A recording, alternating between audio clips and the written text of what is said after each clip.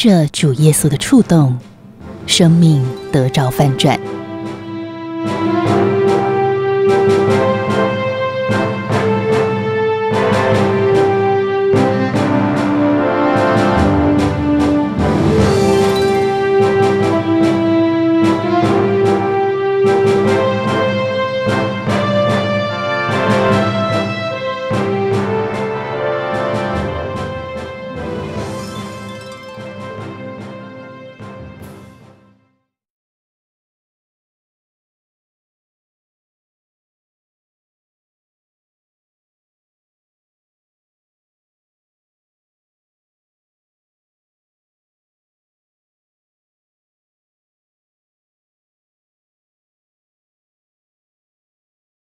觉得说，我是不是要像陈志凡一样，就说要感谢人太多的，就感谢天主吧。不过我觉得其实这也没有错。我觉得其实很多的事情，很多的事情也不是在我原来的安排当中，也不是在我的计划当中。可是我觉得天主愿意一步一步的招选，一步一步的招教，然后让我更越来越清楚自己的圣招。所以其实很多很多的事情，不管是人，不管是事，不管是物，我觉得最后最后真的是要感谢天主的招教。那呢？在我的生命过程当中，我的修道的过程当中呢，其实也有很多，就是就是陪伴我的人，是我的关系很重要的人哦第一位当然就是我们的主教，因为为什么呢？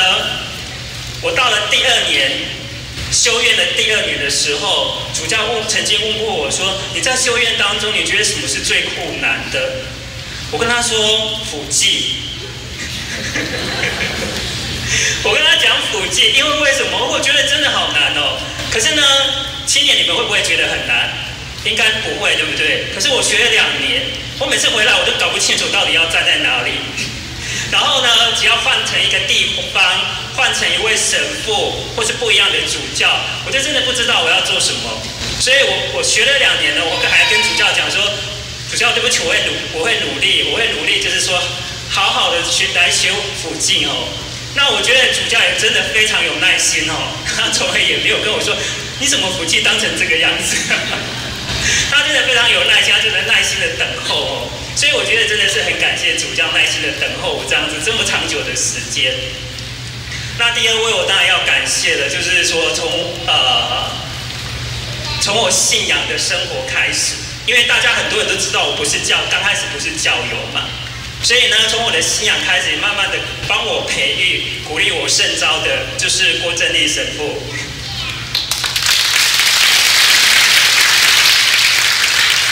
我记得我第一次刚到民生堂的时候，其实你们都知道，我其实不大讲话，我还跟那个服务人员说：“你们不要理我，让我一个人坐在后面就好了。”想不到呢，我就这样子这一路上都是郭神父一直在陪伴我，因为他知道，他让我知道信仰是什么，让我知道修道心生活是什么，然后更让我知道当一个神职人员是什么。所以其实我真的非常感谢他，因为他一步一步的在带领我，然后让我越来越清楚要怎么去做自己的本分、自己的职责。好，那谢谢郭神父。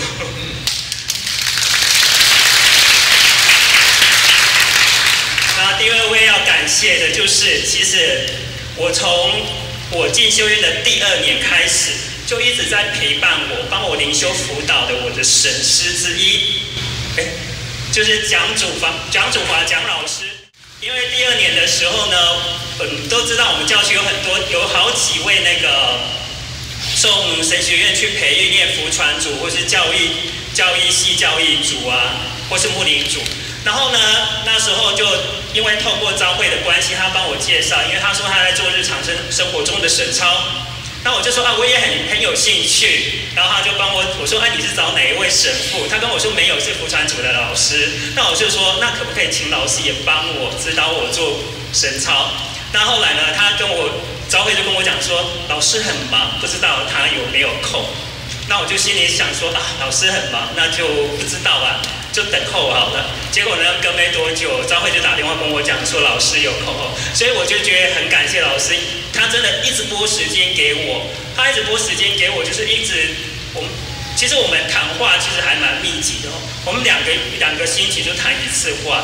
那每次他都一直提醒我，虽然他不是神职人员，可是他呢，他还告诉我要怎么样去过我的生信仰生活，要怎么样去过我的修士的生活，要怎么样在修院生活。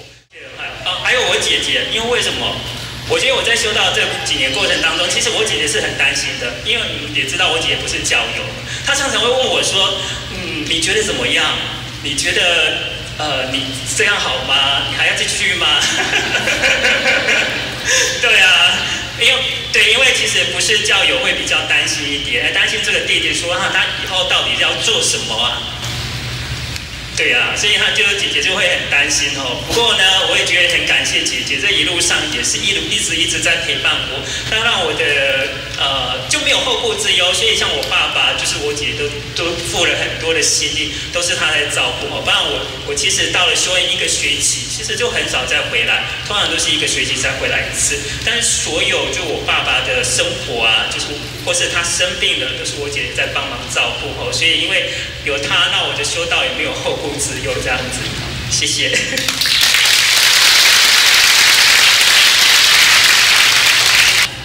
我们嘉义的青年真的是非常非常的棒，真的是很棒。